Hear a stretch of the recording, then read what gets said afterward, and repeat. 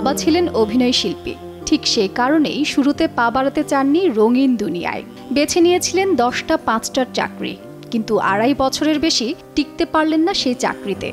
বুঝতে পারছিলেন এটা নিছকই কাজ। এতে কোনো আনন্দ নেই নেই পূর্ণতা। তার চেয়ে মন যা চাইল, সেখানে যাওয়ারই সিদ্ধান্ত নিলেন তিনি। সেই অভিনয়, ওটাই যে তার রক্তে। তবে যে বিষয়টি তাকে সর্বদাই আচ্ছন্ন করে রাখত, তা হলো ভয়, বাবার সঙ্গে তুলনা টানার ভয়। জনপ্রিয় মালায়ালম অভিনেতা এবং পরিচালক মামুটিকে কে না চেনেন? শুনতে কিছুটা অবাক লাগলেও এমনটাই ঘটেছিল দক্ষিণ ইন্ডাস্ট্রির জনপ্রিয় অভিনেতা দুলকার সালমানের সঙ্গে। মালায়ালম অভিনেতা হিসেবে ভারতের সবচেয়ে কাঙ্ক্ষিত মানুষের তালিকায় স্থান করে নিয়েছেন যিনি ইতোমধ্যেই। অভিনেতা হিসেবে যেমন, তেমনি ব্যবসায়ী হিসেবেও। বেঙ্গালুরুর একটি হাসপাতালের পরিচালক তিনি। রয়েছে ট্রেডিং কার্ডের ব্যবসাও।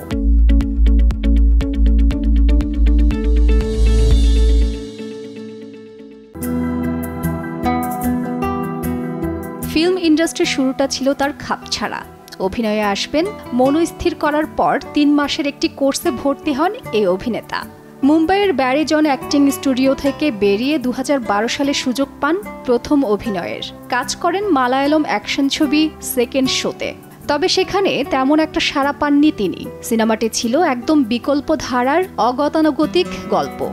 একই বছরে অভিনয় করেন ওস্তাদ হোটেল সিনেমায়। এ সিনেমাটি পায় বেশ জনপ্রিয়তা। সেই ধারাবাহিকতায় দু হাজার পনেরো সালে তিনি অভিনয় করেন চার্লি সিনেমায়, যার ফলস্বরূপ আজও ভক্তদের কাছে তিনি পরিচিত চার্লি নামেই।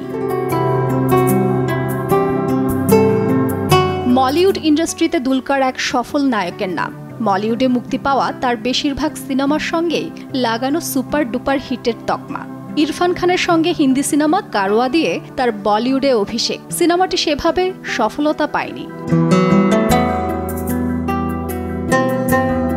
ছোট থেকে শখের বসে গান গাইতেন দুলকার সালমান। হঠাৎ করে আমেরিকান বন কনফিউজড দেশি সিনেমায় তাকে গান গাইতে দেখা যায়। জনি মনে জনি শিরোনামে প্রথম গান গেয়েই পান বেশ প্রশংসা। পরে নিজান চার্লি সিনেমায় তাকে গাইতে দেখা যায়।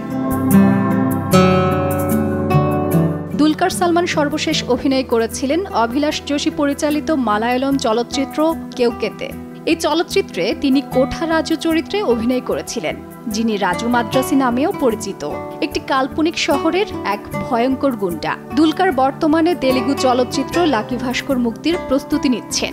সিনেমাটির প্রিমিয়ার হবে আগামী সাত সেপ্টেম্বর। ইতোমধ্যেই জন্মদিনে প্রকাশিত হয়েছে তার আসন্ন তেলেগু সিনেমার প্রথম পোস্টার।